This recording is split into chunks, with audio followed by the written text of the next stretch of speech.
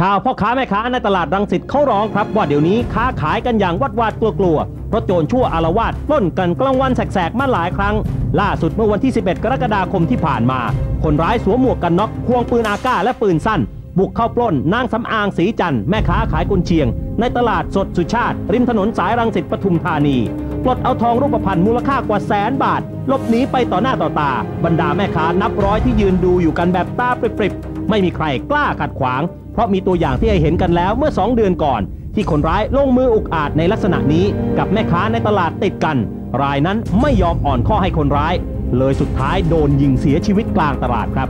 แต่พอยื่นของให้เขาปุ๊บเขาถามที่ตังเขายื่นตังค์ให้ปุ๊บเขาก็ปืนจ่อให้เขาแกะทองมาเดินไปแล้วแต่หนูก็บอกว่ารู้เดินไปแล้วว่า